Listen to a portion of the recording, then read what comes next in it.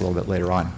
Also, the uh, last announcement I have is we do have the what we call the fourth track, the unscheduled track. We have three scheduled tracks, as you've noticed in your beautiful program this time around. The fourth track you can sign up for in what we're calling um, the fourth track room, the Zeus room. It's just out to the right there. And uh, feel free to sign up if you want to talk and uh, didn't get yourself on the schedule. So I think that's all I wanted to mention in terms of announcements up front. Let's go ahead with our first talk. Karsten.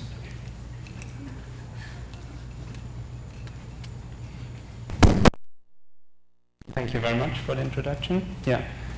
I'm Karsten Nohl from the University of Virginia. I'd like to illustrate to you today how we reverse engineered a, a, a, small silicon chip, and I want to encourage you to do the same with, with other chips to, to add to the knowledge of reverse engineering. And I want to take mostly away the, the scare that many people have of hardware and the, the belief that by putting something in hardware, it would actually be hard to reverse and it would be obfuscated. I'll be mostly talking about algorithms um, out of cryptography, but anything that I'll say will equally apply to any other algorithm that you want to reverse engineer from, say, a graphics processor, from a sound card, from, from a signal encoding, decoding, any of that. Um, so if you have some piece of hardware that you don't know exactly what it's doing and you want to find out how this is where you learn how to do it.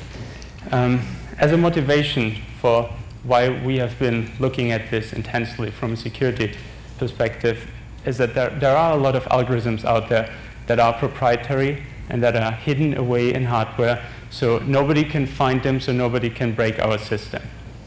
Well, that turns out to not be true and in fact by hiding away these algorithms they usually turn out to be very weak since they were developed in, in the back room by a few people that didn't exactly consider all possible attack vectors. And we'll, towards the end, look at a couple of weaknesses that we have found in, in a chip that we reversed. So now I would optimally want you to today walk away with all the pointers needed to start your own reversing effort. And if you have any questions throughout the talk, please ask them at any point, okay? Now, as a motivating example, I'll be talking about RFID tags, these, these, these little tiny chips that have all but one functionality, identification. They send out a static number every time they're asked. And in fact, um, the technology in, in the badges, that's some, some manifestation of RFID tag. Now these happen to have a battery. They come in even smaller form factors where not even a battery would fit. And so they're basically the smallest hardware you could possibly find, which makes them optimal for reverse engineering since there's only a very small piece of hardware you have to look at. Um, in our project now, we looked at the, the MIFARE Classic RFID chip, um, very widely deployed card that is used for access control into buildings, for payment. For example, the Oyster card in London that they used to write a tube, that's, that's a MIFARE Classic chip, and a number of other um, smart card application. Um, in our project now, we reverse engineered that, that chip to find out how, how secure it actually is since it's so widely used for more or less security related application. And uh, we did take it one step further and then also exploit a couple of these vulnerabilities that we found using some RFID reader hardware that was actually manufactured or designed by the same guy, Milosch Meriac, who, who built these badges or designed the badges. Um, now, back to, to the topic at hand. How do we reverse engineer hardware? Well, first we got to get the chips, the silicon chips. And RFIDs usually come in a plastic card. Most, most um, microcontrollers, microchips would come in a plastic packaging. So first you want to get rid of that plastic. And a couple of, of actions, some solutions, uh, will, will get rid of the the, the, the, plastic entirely for you while leaving the, the silicon intact. Yet a more elegant way of getting, getting those silicon chips is just to buy the blank chips. Most, most manufacturers of smart cards, for instance, will not also manufacture the antenna, for instance. So that there is some, some uh, you can buy the blank chips if you claim to, to be in the business of attaching antennas to them. So we, we got some blank chips eventually, but we also played around a lot with these actions which can be dangerous at times, but a lot of fun too. Now, getting, getting the chip out, um, the, the chip will look something like that. Um, not, not all that impressive. This is the MIFARE chip. It's about one millimeter by one millimeter, so it's a tiny, tiny plate of silicon. And all you see from the outside really are a few connectors. Uh, and the RFID tag only has two actually to, to attach an antenna. So that's not all that impressive. But if you, if you uh, zoom in a little bit and we cut out a little, little corner here, um, you do see that inside of this, this chip there is some structure. So there's, there's some, some metal wire running across here, and there's some other wires that they come in and go out of this chip. And that's exactly the type of structure we want to reverse engineer now. So inside this chip, there's some, some 3D structure that encodes a circuit, right, an electronic circuit consisting just of transistors of different sizes and wires that connect these transistors. That's all a microchip ever has. Now, to get to these, these transistors, or the, the wires before the transistors, we need to, to slice the, the chip. We need to take away layer by layer by layer and take pictures of those metal wires and transistors. Now, we, we were asked a number of times what type of laser we use or how expensive our focused ion beam is and all that. We don't need any of that. So these pictures were taken with an electron microscope, but you clearly don't need an electron microscope to, to do any reversing. I mean, these pictures, other than looking cool, have had no effect on, on our project whatsoever. This, this little cutout was done with a focused ion beam. It took us about three hours. So you can imagine, like doing the whole chip with a focused ion beam takes months or years even, right? So you want to get somewhat rougher than that and cheaper at that. Um, and all you need really is, is some sandpaper or polishing paste to open this chip. Starbug, who, who did all that work in, in Berlin, he had access to this, to this neat polishing machine where you put some, some polishing solution down and then a chip on top of that, and will move the, the chip very slowly over the, the solution and very controlled take off the, the, the layer by layer. You can use sandpaper too no problem. Go to Lowe's, get the finest possible sandpaper, that will do it. Um, one thing you gotta be cautious with though is um, that you don't want the chip to ever be tilted. And by tilting, I mean, so imagine this chip to be some 3D structure, like a building. And now if it's tilted, you cut through different floors at the same time, diagonally. Okay? So you don't want that, because you want, you want nice pictures of each layer. And the, you, you, can imagine how if, you, if your chip is only a millimeter square, it's kind of hard to handle. The way Starbug got around this was you put the, the, the chip in a block of plastic. So he melted some plastic around it and then, and then had this, this bigger object that you could then um, very, very plainly um, polish, right? So that if your chip is too small to handle, that, that's probably what, what you want to do too. I think it's an ingenious idea of Starbug. So uh, this, this picture kind of shows the first, first images we had, and we, we did have some tilt. So you see the blank silicon down here, um, kind of the substrate, then a few transistors up here, it's kind of the, the first floor of the building, and then up here the second floor with, with some, some wiring, right? And that's clearly too much tilt. Now, what, once, once you do cut layer by layer, you want to take pictures in between to, to reconstruct this chip later. And for that, you can use a simple optical microscope. So no, no electron microscope needed, at least not for the, for the, for, for the size of transistors you'll find in, in RFID tags, for example. Pentium chip or something might be different. There you, you need some more expensive equipment. Um, very cheap, these microscopes. You'll, you'll find them in most labs. Definitely below $1,000. We, we just last week bought one for lab in France for 200 euros off of eBay. But that's all you need, including the camera. That and some sandpaper to, to kick off your, your reversing.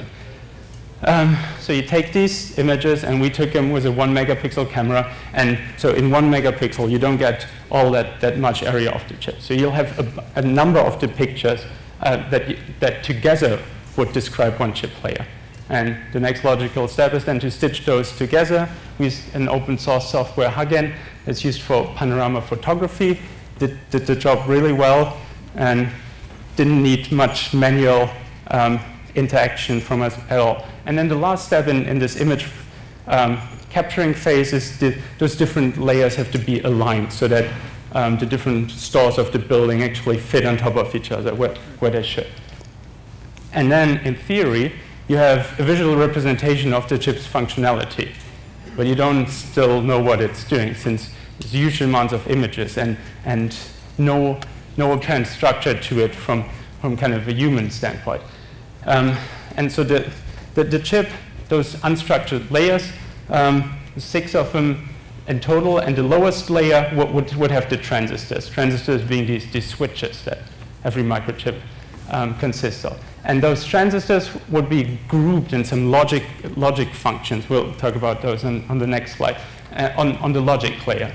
So the, there you, you start seeing some structure. And then the next layers on top of that, three layers total in this case, all they do is interconnect those different logic functions. It could be an AND function, OR function, any of that. And so they, they are somehow connected to form a circuit diagram, really. And then the last layer has no practical functionality other than connecting to antennas, but it does have some, some um, visual protection. So you couldn't have done what we have done without opening the chip since the last layer prevents you from looking into it. Where the rest of the chip is really just glass. So you can, you can maybe see that, that um, the, the lower layer, uh, for example, the horizontal line here shines through to this, to this layer where, where it's all vertical, right? Yeah, silicon oxide, all glass.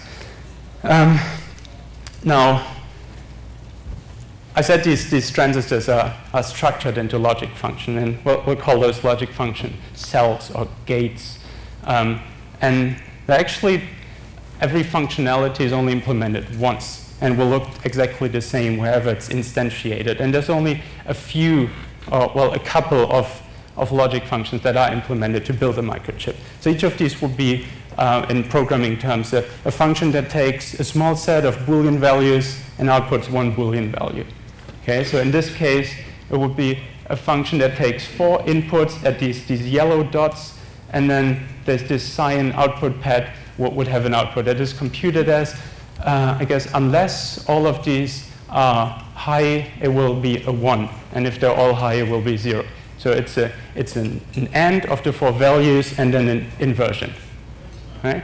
And there's only a number of those. That they, they have at most, I think, six or seven inputs, and even, even truth table-wise, there aren't all that many possibilities. So now every time this four NAND is instantiated on the tag, it will look exactly the same. So this is the same as this. Sometimes it's, it's uh, rotated, sometimes it's mirrored, or all rotated, or both, um, but they will look the same.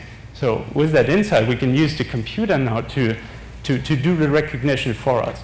And this is, this is actually the output of, of a MATLAB script that I wrote. So all it does is uh, once you, you select one of these cells, it will tell you, including mirroring and rotation and everything, where on the chip this, this same cell is located using some template matching algorithm. So you do that once, you, you get those four, so next you will select this one, so it's here again and there. You do that a couple of times, and you, you, you fill the chip with, with um, instantiations of the, of the same logic gates. And there's only a total of 70, and those 70 make up the, the standard cell library. Okay, so every time the, the designer of this chip needs a four NAND, it will take that same four NAND, kind of an assembly instruction, for, and then instantiate it. And we can reconstruct the whole assembly language um, automatically using these tools. Now, so once we did that, we basically have a map of, of where, what, what type of of um, gate is located. What we don't yet know, though, is what functionality it's computing. So I told you this was a four NAND, but how do I know that? Well, I'll, I'll go over this briefly, and if you have more questions, we'll, we'll get back to that later. But I'll, i just want to, to, illustrate that this isn't hard. Um, this is an inverter. And what I'm showing here is the, the leftmost picture is, uh, is the transistor layer, and the rightmost picture is the, the layer above it, where, where the, the input and outputs are, are connected. And the, the picture in the middle blurs those two images, and orange the, the higher level and blue the lower level. And now I'm asserting here that this is an inverter. Anybody, has, has anybody taken a VLSI class? Something like that? Yeah? Well, I haven't, but I know what an inverter is about. Okay. Well, what, in, in a circuit built from transistors, what, what would an inverter be? Well, basically, typically like inverting state, basically went to zero, zero to one. Okay, so yeah, the truth table would be if you put a 0 at the input, a 1 comes out, and if you put a 1 at the input, a 0 comes out. Right? So if you had taken a VLSI class, you should be able to, to find this functionality trivial. Unfortunately, um, this type of image isn't really available publicly. Um, so when, when I taught VLSI, we couldn't find any, any, any this type images. We, only, we can only find really old images. Um, these are usually kept secret. But yeah, so the inverter is easy, and I'll, I'll give you a couple of clues here. So there, there's, there's two transistors, one up here, one down here. And a transistor is like a button. If you press the button, current can flow through. If you don't press the button, it's basically blocked. So I'm also giving you the, the hint that there, there's, there's uh, positive voltage up here and ground voltage down here. So now let, us take the annotation from, from this image and say this was the input. So the, the input um, as you can see, and this image is kind of in the middle, so connected to the, to the two buttons, right, to, to where you press, which makes sense. So this is the input, this triggers the action. And the, the left leg of these transistors is the output, or Y in this case. So now we said Y should be the opposite of A. We put a, a 0, 1 comes out, 1, 0 comes out. Now, looking just at the bottom transistor for now, if you press the button, right? If you put a voltage on it, it will let current through, which means it will connect the left leg to the right leg, and the right leg is connected to ground. So if you push the button, the output will become negative, right? Now, the transistor on the other side acts exactly the opposite. This little, this little uh, circle here says it's, it's kind of a reverse button. So if you don't press it, it will let current through, and if you press it, it will block which now again makes sense. If you don't press it, this, it will connect the left leg to the right leg, which is connected to, to, to the positive voltage, right? So if you press it, zero will come out. If you don't press it, one will come out. That's the inverting function. And all gates will be similar to this. This is obviously the, the smallest possible one. But so more complicated gates would have two transistors on each side. And this one, for example, has the output in the middle. So if either of these buttons is pressed, it will connect to, the, um, to, to ground. So it's a two NOR, okay. And so by, by following this, you can, you, you, can, you can figure out any gate's functionality. And actually, they look very structured. So the three NOR would just be the same, but a little wider and so forth. Now, I won't bore you with any more details here, but if you, if you are interested, I put all that information online just this morning at the Silicon Zoo. And I hope you will use the Silicon Zoo if you, definitely if you're interested in learning about VLSI. As I said, it's hard to get these images, and we couldn't find any when we were teaching it. And so I want you to, to, to study these cells, to understand how they work, to maybe compare cells of different manufacturers, see what, what different trade-offs they choose, and then also use these to reverse engineer your own text. So this, this is the only, in, in our reverse engineering system. This is the only step that really needs manual intervention, partly because it's just fun solving these puzzles, so we have never automated it. But so partly because it also requires some knowledge. So if, if, you, if you do get at your own um, reverse engineering, do use these images and contribute back. Hope, uh, help populate the, the Silicon Zoo. So back, back to reverse engineering. What we have is now a map of all the different logic functions on that, that, that logic layer. But there's still three layers on top of that, that where these different functions are interconnected. And so those, those are crucial to the functionality as much as the, the logic cells are. So what we want now is to, to combine the information of what gates are where with the combination of what is connected to what and then reconstruct reconstructed circuit diagram, something like this, this representation.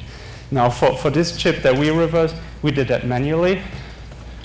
It's a tiny chip, so it was still possible, but and it, it was a, a, good, good way of building some ground truth that we can now build tools that, that try to get the same results. But it, it did take a lot of time. Um, we did do we did make a couple of errors, but that, that wasn't so much of a problem since there's a couple of safety nets. So, for example, um, two outputs will never be connected to each other. Or in cryptography, everything will be very structured. So if there's some hiccup in the structure, you know you made an error. And well, we, we did that 1,500 times, or rather Starbug did that mostly 1,500 times to, to find the, this chip's um, functionality. And so just to illustrate how much uh, effort that could be. Now starting at this little dot here um, as an input to and, uh, 2R, I think, um, we want to know where it's connected to. So we, we see the little green dot, which means it's connected to something above it. It's, it's a connection between these two floors. Um, so we go a layer above it, and we see it's going to the left, and again, a green dot, it means it's coming up again. One more green dot, it's coming further up. It's going all the way across here, and now it's ending here. So chances are it, it goes one layer down, and in fact, there's a green dot. It's going a little further down here. Next green dot is going up again. You see it's zigzagging. There's no structure to it. It's all, all pseudo-random almost. And then it's finally reaching this dot. So now we know that this dot is connected to this dot. And now imagine this 1,500 times. Fortunately, we did automate that. Um, given the image on the left, the tool will create the image on the right, where it annotates all the wires in green and the, these, the, these what, what is a green dot in the left image as a, as a red dot here. And just given that, you can, uh, you can easily find the, the circuit diagram. Um, from the CCC in Berlin wrote a nice GUI for that too uh, which I hope will be released some sometime this year, perhaps in Berlin in December. Good conference to come to too. Um, and this, this GUI will eventually even extract the circuit diagram, so do some checking of, of what is plausible, how the different layers are connected, and so forth. So given that tool and the images you can easily get with your 200 euro microscope, you should be able to reverse your own chips.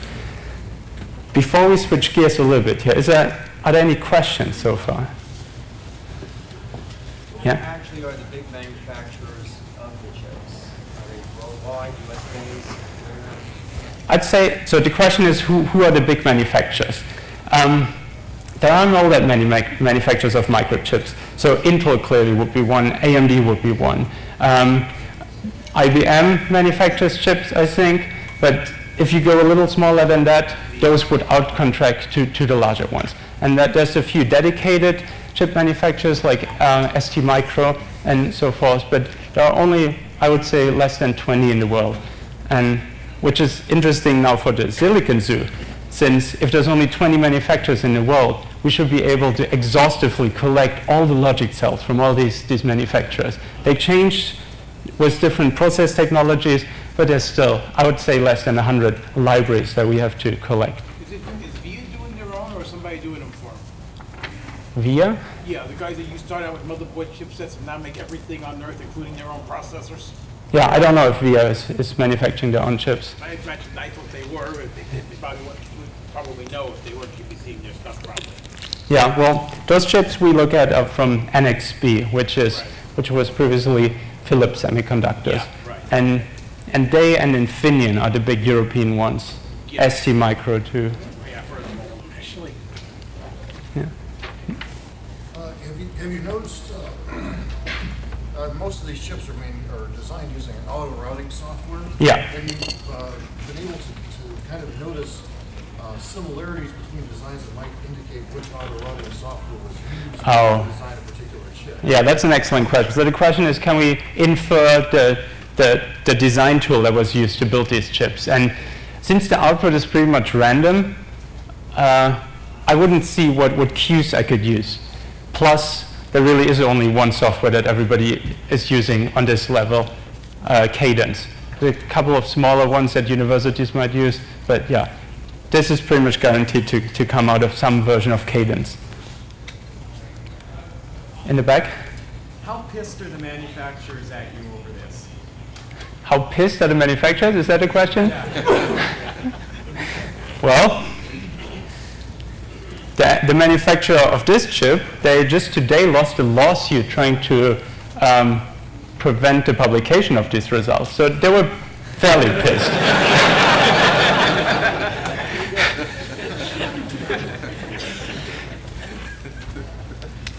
More questions? Yeah. Along that line, uh, what are you doing to make sure that Silicon Zoo stays up? Well, I host it on my, my university's server. So if you want to take it down, sue the university. Ah, okay. No, I, I, don't, I don't think anybody truly believes that you can um, prevent reverse engineering results from becoming public. There's, there are no trade secrets that you could apply since we, we found the secret ourselves. The manufacturer didn't tell us the secret. There's no copyright. There, there are no, no trademarks we infringe. So there's no, no legal grounds. And as I said, the, the lawsuit was won today in the Netherlands where, where NXP sued the university. Rob? Well, they could use DMCA. Could, it, could I use DMCA? I think If this is ever used to protect copyright Right. information, then, Yeah. then your reverse engineering is, is a breach of, of DMCA. Right, so DMCA could be applied, but from what I understand, universities are exempted from DMCA. Yeah, so yeah, we, we were joking about this, um, that somebody should just have put this, this MIFARE tag on a CD as a copyright protection, and they would have had much more legal grounds to, to, to sue anybody who reverses it. How many ideas? Okay? So how long do you think you need to reverse engineer a Pentium processor? It's a great question, and that kind of leads me to the next slide. So one, one possible defense clearly against what we are doing is to make the chips huge and to spread out the, the, the one algorithm you're after across the entire chip. So that would clearly defeat the, the set of tools we have now, since we never aimed for scalability. It would take a lot more time, and it would take a lot more automation to, to, to reverse something like an Intel microprocessor. But the stakes are much higher. So imagine you found a backdoor in an Intel processor, some debug functionality. You could basically write a virus that, that works completely independent of operating system, virus scanner, or any of that by just applying a certain sequence of, of instruction. So maybe somebody wants to pick up the challenge of making this scalable to, to much larger chips.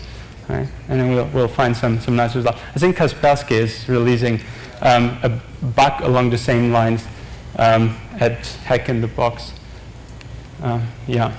Well, other defenses that you could um, use against, or well, that are other defenses that are attempted to, to make what we're doing more difficult is to just generally obfuscate the chip, make things much less structured, do a lot more of the zigzagging. Um, but since we already automated the detection, our tools don't care whether it, it makes sense or not from a human perspective. If two things are connected, it will find a connection. So this doesn't really um, pro prevent what we're doing at all. Now, another thing um, a lot of the, the, the tamper-resistant and tamper-proof chips do is they put a lot of dummy functionality on the chip. So things that, that might look like that they, do, they, they extend the algorithm one way or another, but they're not, never actually used. Again, our tools, if, if something doesn't contribute to the output of some block, we will not detect it as, as, as needed to describe the algorithm. So this is mostly used to, to throw out people that, that more manually inspect chips, say more, more traditionally just looking at chips and inferring functionality reverse engineering.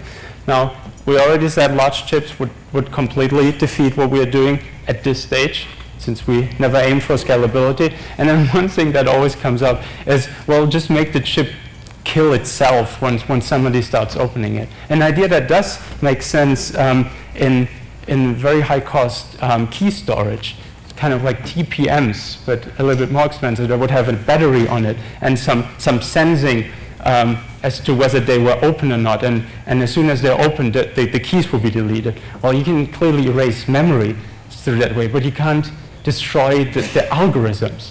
Right? So these are completely different things. So you can, you, what you would need to do is kind of like a, um, a Da Vinci type approach where you have a vial with some vinegar and then physically break the chip. But I don't think that has ever been done. So in, in conclusion, uh, as, as far as countermeasures go, um, we haven't run across ideas that would completely prohibit what we're doing other than just scale. Rob? You could, you could make the layers contain uh, uh, traces that are visually there but not electrically there. So you could mess with, with the fact that, that electrical isn't visual.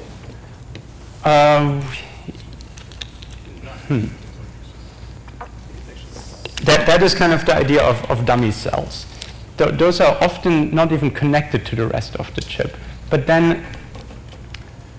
But you could print traces out of material that looks exactly visually to your picture, looks like a trace.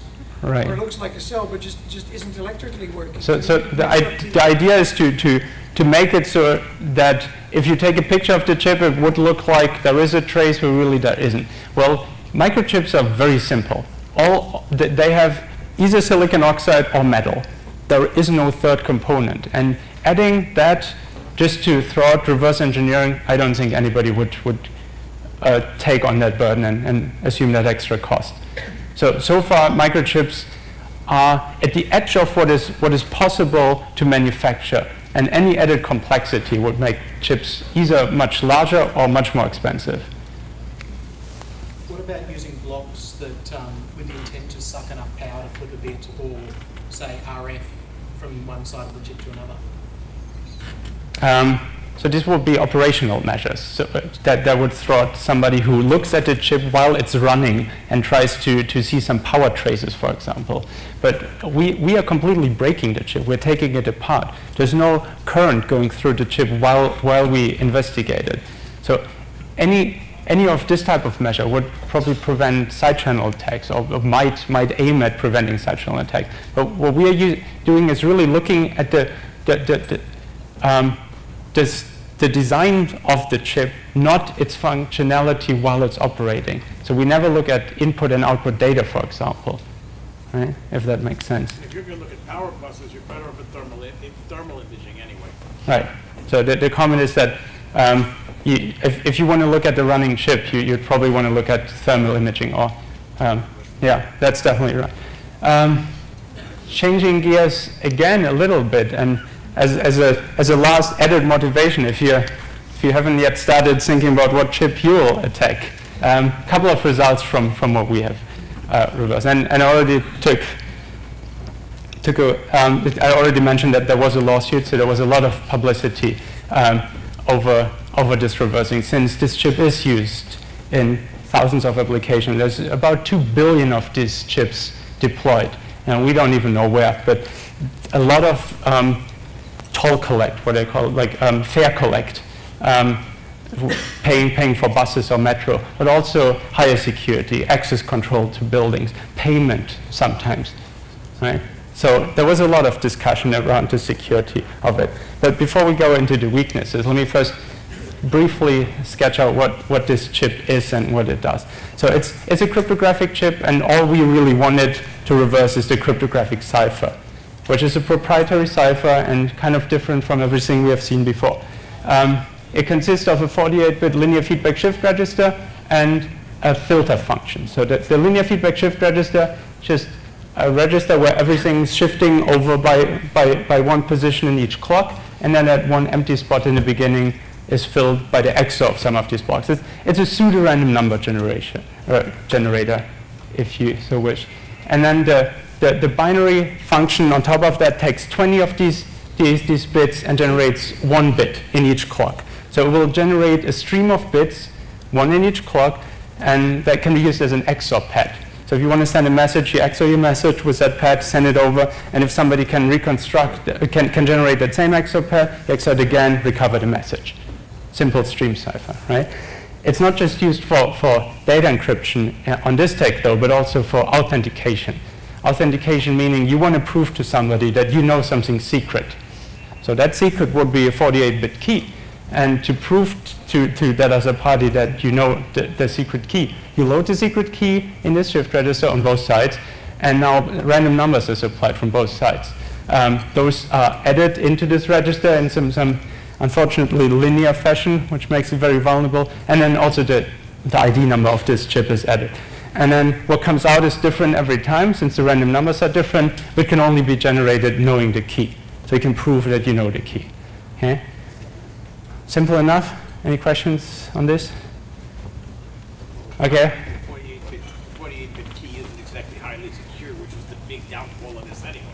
So the common is 48-bit key isn't exactly secure. Well, That was the one, downfall of this. one, one could have one could have known that years ago, but often, oftentimes the argument is made that as long as something is, is secret, nobody can break it. Hence, by definition, it must be secure. Doesn't work that way. Exactly, it does not work that way. Doesn't work that way for, for computer data either. I remember when telephone central offices used to have computers, you'd have a dial-up, it would be undocumented. There'd be no password on it. If you found, if you found the dial-up, you could get in with no password. Right. And So the, the, the, the point is, the, the, point, uh, the, the, security, it didn't work for that either, that's the point. Right. Yeah, thanks, thanks for that example of yet another case where security through obscurity does not work. And now, in this case, everybody knew it was a 48-bit key. So everybody knew that on average, in 2 to the 47 cryptographic operation, you should be able to recover that. Which, um, and that leads me to the next slide.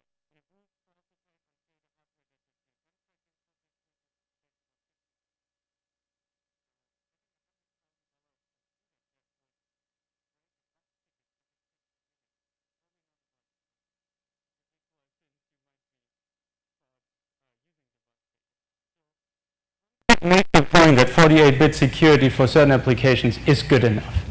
Now, this chip does not provide 48-bit security. You do not have to spend 50 minutes on an expensive computer to break it. Um, where do we start? There's so many weaknesses. Let's start with the random numbers.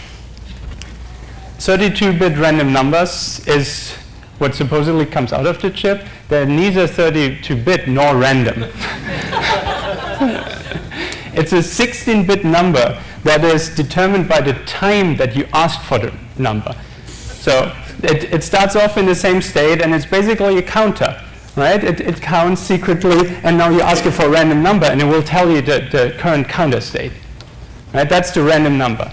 Same on the reader side. There too, you can, you can through asking in the right moment, or in the right sequence rather, um, get the same random number every time. So there's no randomness in this protocol. And an authentication protocol without any randomness is total prey to replay attack. Once you overheard one, one authentication, you can just answer it in the exact same way. And if the same random numbers were used, the same output is generated. So authentication completely breaks apart. Now, say they were going to fix that, which they have on the reader side in some newer chips, which they will on the tech side, in what they call the MIFARE Plus card. Now, the MIFARE Plus card also has AES encryption. I'm not going to talk about that. But the, um, the, the weak encryption, this Crypto1 algorithm with strong random numbers is still much more vulnerable than brute force. One thing that you can do, that you can always do against a, a 48-bit poorly seeded uh, cipher, and what the GSM cracking project did too, is compute rainbow tables, or rather distinguished point tables. Now, you still have to spend those 50 minutes on on, on the expensive computer, but you do that only once to break any number of tags. And you can break those in about 30 seconds on a computer. Now, that might be worse for, for stealing bus tickets. Nobody knows. But it's definitely worse for breaking into a building, right? Maybe the, the 50 minutes would already have been. There's a couple of other attacks you can do. Um, the protocol is so simple. Everything is combined linearly. So if you ask the right questions, meaning you, you send the right random numbers, it will disclose bits of the secret key, one or two at a time. And you can, you can basically probe for the key. And just by sending a couple of random numbers and, and seeing how it's responding, you can figure out large parts of the secret key. And the brute forcing to the rest is just trivial. A couple of more advanced attacks, all um, what we call the algebraic attacks, um, exploit the, the structure of the cipher itself. So if you were to fix everything, if you were to increase the secret key uh, size, if you, if you use good random numbers, if you were to fix the protocol, but still use the same basic idea of having a simple function like this, you can, you can do these algebraic attacks. They're basically built up of the idea of describing the, the whole cipher as a system of equations and then using off-the-shelf tools that mathematicians use to solve that system of equations. Say Minisat, for example, is a, is a, is a tool used for that. And so the, the most advanced algebraic attacks on this breaks any 48-bit secret key in 12 seconds on a, on a computer, right? No expensive hardware needed. And that's basically the, the bottom of, of security. I mean, it, it takes longer to even type the command than to break the key. so What's that? I would assume even a high-end home computer would have little trouble doing this in a reasonable frame of time, never mind anything more powerful. Right. Um, well, to conclude, reverse engineering is entirely possible and you should try it. If you do, let me know and I'll help. I'll help by giving you our tools, which will be released sometime soon anyway. Um, I'll, I'll help by explaining you VLSI if there's some, something you need. And I'll help getting around obfuscation, where I'm, I want to be challenged. I want to see some obfuscation that actually makes, makes our tools not find anything anymore. We, we haven't come across any of that yet. Um, on the cryptographic side, we haven't necessarily learned, but yet again seen that obscured, uh, security through obscurity doesn't help at all. And as I said in the beginning, um, it hurts you. Beyond not helping, it hurts you very much since designing a crypto algorithm in, the, in, in some company's back room and trying to keep it secret without peer review will produce weak algorithms, almost guaranteed, unless you're the NSA probably. Well, with that, I want to thank you for your attention, and I'll, I'll be happy to answer some more questions.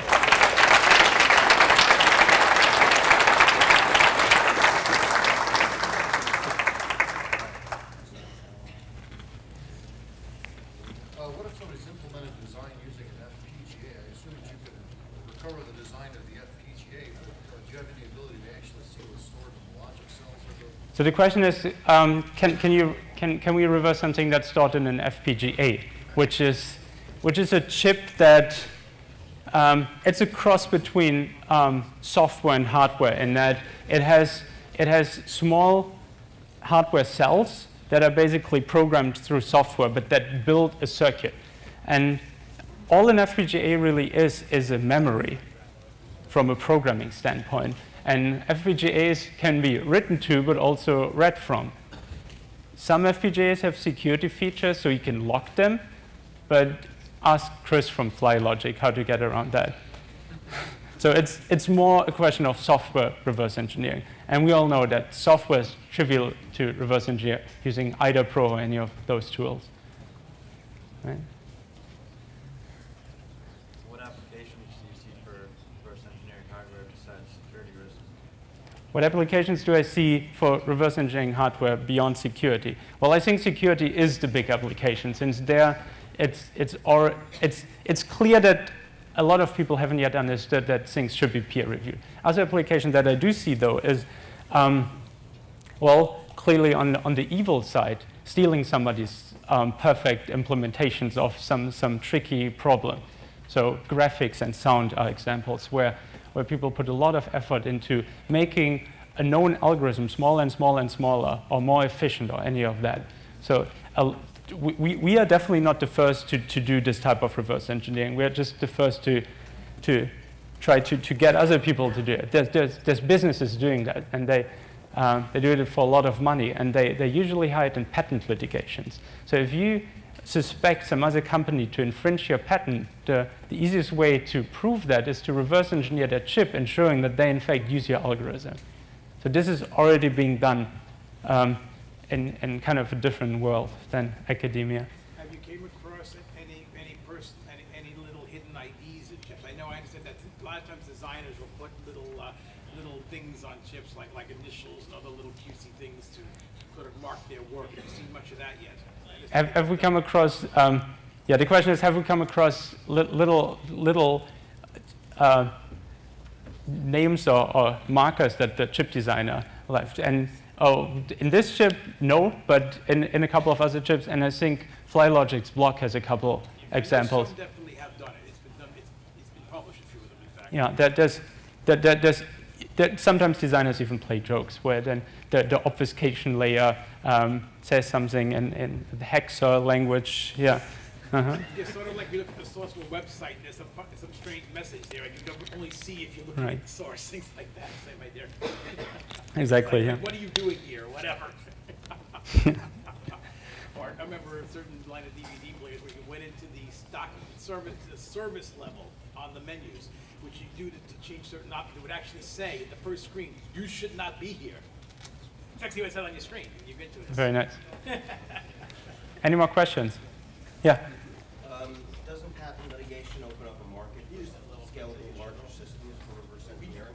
The question is, wouldn't, wouldn't patent litigation open the market for scalable reverse engineering? And yes, I hope it will. If, if somebody wants to take this commercial while keeping the tools open source, I'll, I'll definitely be, be willing to support that in any way. The automated system wasn't designed to be scalable. Well, because we, our system wasn't designed to be scalable, but there's, there, there's no reason why somebody with enough patience couldn't, couldn't make it scalable. The, the ideas are there.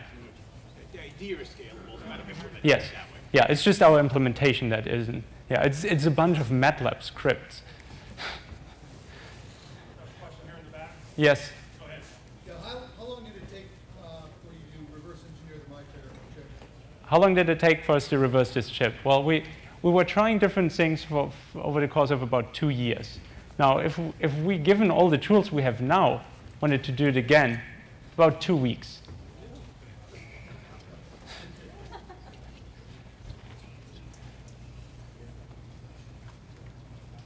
Yes?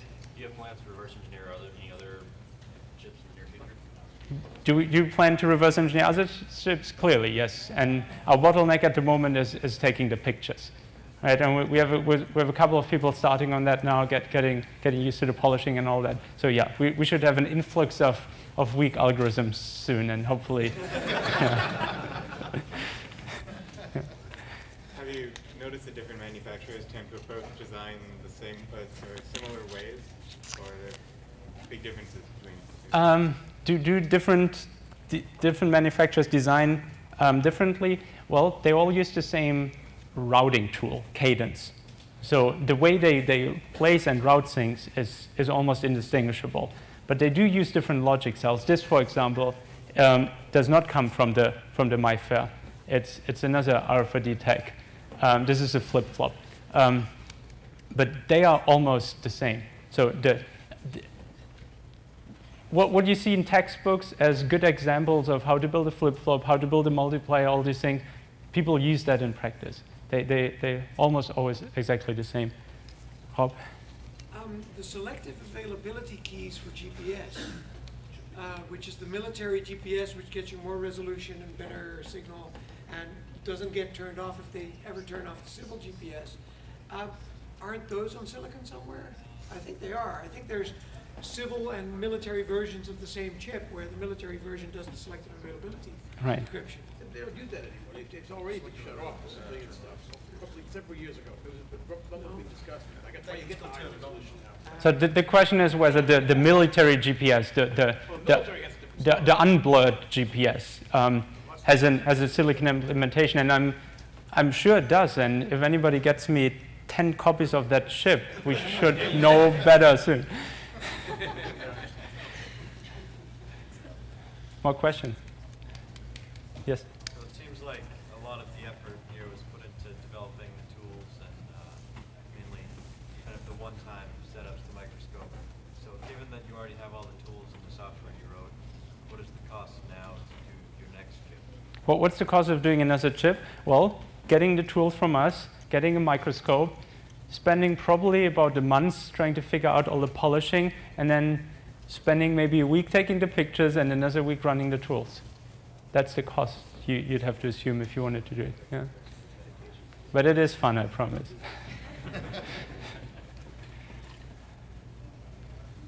okay, no more questions? Oh, one more? Yeah? You said you needed 10 copies of the GPS chip. How many copies do you need typically for something simpler? So the question is how many, how many copies of a chip do we need to reverse engineer something? Um, well, optimally one.